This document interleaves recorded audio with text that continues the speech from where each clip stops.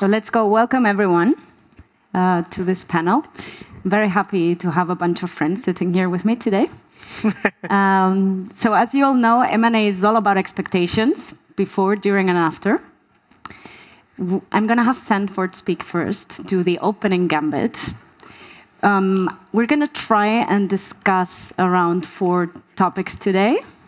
So that's going to be innovation, real innovation, B2B and technology, mega mergers, as Sandford knows all about that, and maybe Latin America a little bit. Always up for Latin America. If you're up for that. Uh, so Sandford, can you tell us a little bit what's been happening and what we can expect? Yeah, sure. So let me let me kind of unpack how I've seen it over the last few years. So if we look back to 2020, I think across the board, inside, outside gaming, you had just this absolute cacophony of deals. I mean, we at Oakvale did a huge number, and I think that was driven by SPACs, it was driven by low interest rates, it was driven by free money, essentially free money, and people were doing deals for deals' sake. So you had Rush Street SPACing, you had Golden Nugget, you had all sorts of I think DraftKings really led the way in that respect. And then people were kind of valuing businesses on a next year's fictitious revenue, and we as bankers love that. I mean, it was great, but that has evolved quite significantly over the last couple of years. So moving into 22, I think seller expectations didn't come down, but buyer expectations did. And so what we started to see is this evolution, which I think we'll see more of this year, of focusing on kind of two types of deals. Either very profitable businesses that are not growing, being bought on lower multiples, or I think there'll always be a market for profitable, high-growth businesses in certain key geos. So what I saw in 2023, and we were involved in a lot of these, in fact, we're probably responsible for Entain not having too much cash left to spend, but they were buying, and I think they were very sensible deals, but others may disagree. They were buying STS in Poland. They were buying SuperSport in Croatia. Those were the very profitable quasi, I don't want to say monopolistic, but very, very strong first positions in Croatia and Poland. And then they were also looking at um, strategic deals. So Angstrom was their very strategic deal, which had no connectivity really to financials in terms of the valuation. It was a deal that they needed for BetMGM to deliver on Same Game Parlays and so on and so forth. So I think as we look forward, what we'll see is we'll see deals based on fundamentals. We'll see more consolidation in the affiliate space. I think the media companies, they had their their moment in time in 2020 and 21 where they were doing these mega deals with PointsBet and others, and they were really making hay while the sun shines. I think now it's really about profitability. It's look at Better Collective. We just sold them Playmaker. I think we'll see more of those types of deals in the market.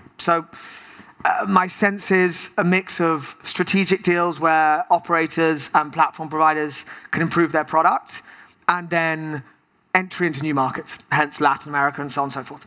Thank you for that. So, Max, I'm going to turn it over to you, as you had your own announcement just now. Um, tell us a little bit about the B2B space, the importance of owning tech, vertical integrations. What, what, What are your thoughts on that? Yeah, I think, uh, and yeah, thanks for raising it. Obviously, we closed our funding raise uh, recently, and that was announced this morning, so that's very pleasing, particularly to do that at this event and welcome OpenBet as an investor alongside Betsson and Knutsen, who are, well, were one of the largest shareholders of NetEnt. So that's great for us. But I think from the B2B space, that's actually something perhaps, you know, there's a lot of discussions around M&A activity, mainly in B2C that you were discussing there, but there's actually a huge amount of consolidation or opportunity to look at B2B deals that are happening at the moment. I mean, the most obvious one is the Aristocrat um, acquisition of Aspire Global that's trying to progress. Um, we've also recently heard the discussion of IGT's, PlayDigital, et cetera, uh, combining with Everi. Uh, I think there's certainly a real progression in this space of B2Bs now consolidating as well or trying to increase their market share in a particular way. If not by full mergers, then if it's smaller acquisitions or minority investments, whatever it is, that seems to be quite a key predominant thing that I'm seeing this year, and I believe that will continue this year as well. Thank you for that. Um, Mats, in your case, you have a ton of experience with what happens after, especially what results from very complex and a lot of M&A. What do you think are the main challenges around things like culture, talent, overall integration, managing expectations? Don't use ChatGPT. No. No. Again. Bragg is a result of a series of uh, mergers and acquisitions. Um, uh, the first transaction was done back in 2018 when Bragg acquired Oryx. And then we were uh, doing a few things in parallel. Uh, we um, acquired Wild Streak Gaming, a studio based out of Las Vegas. So we acquired Spin, another studio and an aggregator based out of uh, Reno, Nevada. And in parallel, we were um, listing the company on Nasdaq. So I think, you know, the biggest challenge for us was to uh, maintain um, focus on our business. We actually had three different management teams trying to work together Um, in creating uh, one team, one company. Uh, and um, you know, in light of that, um, it was pretty difficult for myself personally, and obviously for the people in the company to run day-to-day operations, and try to be as effective as possible in the uh, in the transaction and in the go public process as well. The other big thing is uh, management of complex regulatory uh, challenges. We, with the acquisition of Spin, we um, acquired a company that was licensed in uh, five, I think five, U.S. states and two Canadian provinces.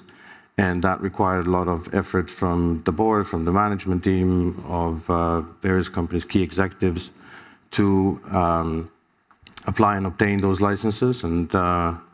Um, I guess banking the other uh, segment where you have to uh, put a lot of focus on it. And uh, um, the third thing is um, obviously keeping key talent motivated and engaged both in the process and in a day-to-day operation. And there are various other challenges that we can speak about, I guess, for hours. Yes. That's never-ending story, unfortunately. Yes. We're still in a process where we're now, I guess, well consolidated and looking forward to uh, uh, next few years. Good. Thank you for that. So last but not least, uh, Evan. So Sandford touched a little bit about the point on valuations and generally expectations. Tell us a little bit how you see it as an investor. Um, is it a time of, like, growth versus profitability? Sandford mentioned fundamentals driven again. So what, what's your take on that? Well, I think we've seen the world change significantly over the last 18 months, as Sandford touched upon. You had kind of the euphoria of rising stock prices, um, you know, supportive capital markets. I think we've we've seen a significant pullback in all of that activity over the last, you know, 12 months particularly, and now we're starting to see a little bit of a path forward. I think, you know, the clarity around rates and kind of where rates are gonna go over the next, you know, six to 12 months provide, you know, more ammunition on the corporate side. Stock prices have risen, so you're seeing corporates be more active on the M&A side, particularly with venture-backed businesses as, you know, you start to go down that growth uh, that growth platform portfolio. You know, high level, I think, you know, there is certain what we're seeing on the venture side is there are a lot of products being brought to market and companies with innovative products. Like, you know, I think how we look at potential exits, it's can those products become a larger platform or part of a larger platform? I think, you know, ultimately there are several that will pierce that that kind of barrier, and then a lot of products that will be acquired, whether it's acqui-hire for the team and technology, um, or actually, you know, acquired by larger corporates that can then, you know, use that as product differentiation. Because that's what we're seeing now. It's like with the slowing of states, new states launching online, you have additional capital now sitting on the balance sheets of, you know, larger B2C platforms.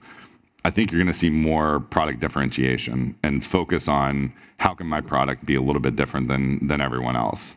and those are areas of you know of, of interest for acquisition. And ultimately, if you look at kind of the multiples being paid, if you have one platform or one B2C, you know, platform buying, uh, you know, a product, a lot of their revenue is going to go away because they want that product for themselves, right? So you have to adjust multiples. You have to adjust kind of future earnings for those companies.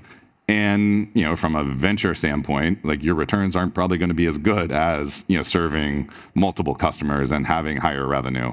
But that's what we factor into how we look at you know ultimate exits for a lot of the the venture-backed companies. Yeah. I'm going to stay with you for a moment. You're living in Brazil, Yes. which is very hot at the moment for many reasons.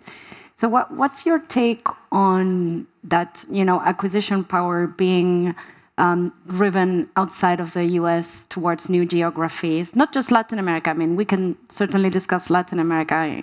That's my sweet spot too. But how do you see that? Where, where are, where, what places would you go?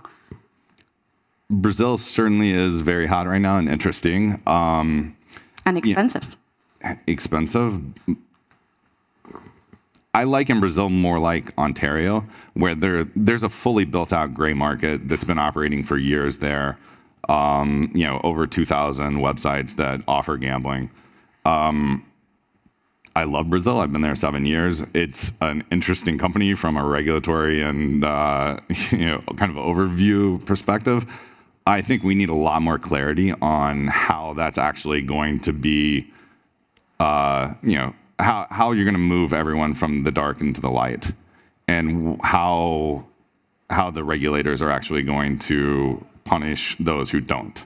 I have low expectations. Exactly. be completely honest. It's, and therein lies the problem, right? Like, you know, I think you're going to have groups that have go spend the 30 million reais on a, on a on a license, but then potentially have you know sites and you know send traffic to other sites where they're not paying the tax. The customers aren't having to pay the customer tax. Like, you know, it's it's Brazil. Yeah, but it's it's such a significant market. I mean, we we this is not H2 gambling capital, but this is just looking at the operators. And we think it's over five billion of GGR already. And you look at Bet365 being massive in the market, mm-hmm. and you look at what Betano are doing there, which is unreal in such a short space of time. But I think it's just a very complex a mix of operators, some of which are connected to land-based, some of which are a little bit grayer than others. And I think from an M&A standpoint, given we're talking about M&A, we've certainly found it very hard to transact because most of these operators are local and from and a structure. They, they just yeah, you know. Curacao license is hard for a land-based operator in the US to acquire. I think what we'll see is a transition once the licensing comes out and once these operators have Brazilian licenses. I think we'll see a lot more M&A in that market. Obviously, you and I worked on the sale of Inkabet to Betsson. There's going to be more of those local champions in Latin America for sure. Mexico, in my view, is is five years behind Brazil, which is crazy. I mean, you've obviously got Caliente. and it's a that- two billion market already. Yeah. yeah, but you've got 120 million people in Mexico. It's just payments and affiliates. Very haven't close to the US. Let's not forget that. Yeah, exactly. Um, unless Trump builds his wall, but but yeah, it's it's a really fascinating market. I think you see it with Rush Street Interactive. They're now in Colombia. They're in Mexico. They're growing really quickly. They have earnings today, and and I think they'll continue to want to push in those markets. And ideally, they'd acquire. But it's just finding something that's clean enough to acquire without hair on it. And we know only too well that you know, when you get into that due diligence stage, you can get to term sheet quite easily. Then you get into due diligence, and it gets a little bit. It's hard to find hard to find those operators. Yeah. Yeah, yeah, We're we're going to see a lot of asset deals. I think like mm-hmm. pure carve outs of databases, brands, those kind of things, because it's very, as Sandford's saying, it's very hard to acquire. Like, no. Well, and then on the affiliate side, like it's just rinse, wash, and repeat that what we've seen in kind of every market. And I think there's a lot of, you know, there's a lot that can be done down there, building, you know, building that funnel, that customer funnel, that's not being done now. So I think those are those are interesting areas to, to look at from an M and A perspective. I mean, I, I would say that what I see from an M&A standpoint is where, as I mentioned in 2020, people were just doing deals for deals' sake. Now they're doing deals for very specific reasons. So you're not going to buy something in a market where you're already there or you, you have a kind of replacement value, you're going to look at Brazil because you're not there and you want the local infrastructure. In the case of B2B, you're probably, as you go forward after you've done this OpenBet deal, you're going to start looking at how you can take more of the NGR share because the platform you take what three, four, five percent. You want to build towards having more content, but as you know, the whole US market is now more akin to the European market from a content standpoint, and you Correct. really need a point of difference. I mean, Evolution are buying up a lot of content providers. We saw the big time games, they had Megaways. I mean, I think everyone's looking for innovation. Evolution just bought Livespins. I can see Carolina sitting over there. Uh, FanDuel's just bought Beyond Play. This is all about innovation at the moment and doing something slightly different. And the juxtaposition of gamblers as creatures of habit with innovation, it's very hard to thread that needle. So M&A, I think, is the, the only way. Definitely. Mats, what's what's your take on on what you do with um, the different cultures when you when you execute an M and A, and how do you get that one team? What's what's kind of the key thing to do?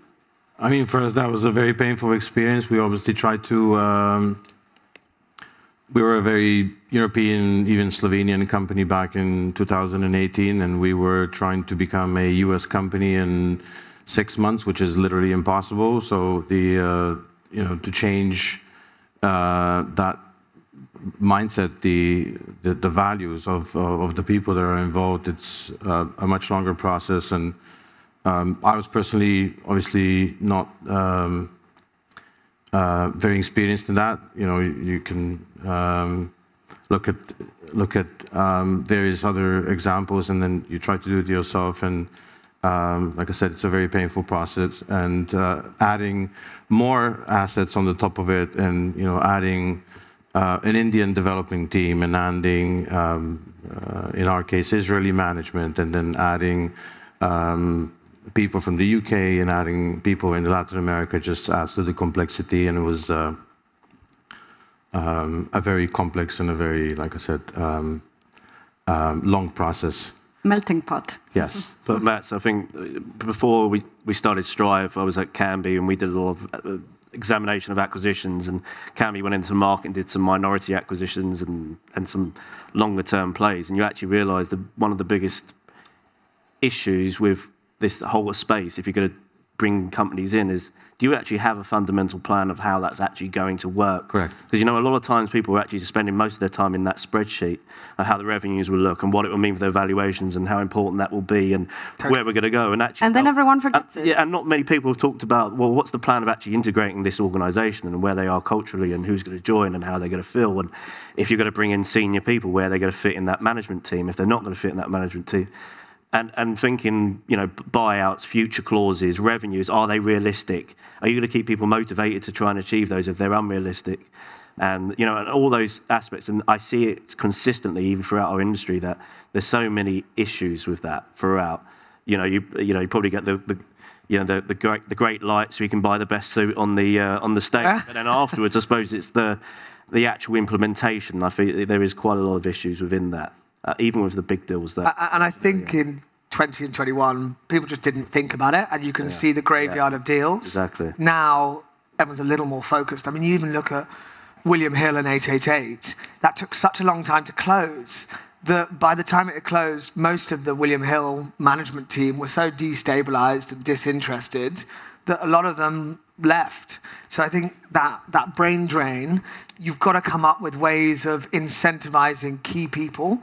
And that I always think you could do that through a mix of not just earnouts, but a combination where buyer and seller, so the, the buyer can propose an earnout, but the earnout often benefits the major shareholders who actually just want to exit stage left. So really what you need to do is carve out a chunk of that earnout and have the buyer maybe match it in some way and roll that forward into a management incentive package and possibly think more like a private equity vehicle than a straight strategic acquirer. The different the, the flip of that is if you're someone like a gaming innovation group They bought AskGamblers, they bought KaFe Rocks. I think they're probably coming in and they're going to rip the guts out of it and drop the gross margin to the bottom line. So there's sort of different ways of, of doing deals. But if the team are fundamental, that is the only thing I think you Yeah. have to think about. But the private equity mentality, let me let me get back to that for a moment. So I think um, ideally you should go about it in a 10-year time frame, which is what private equity does at the end of the day.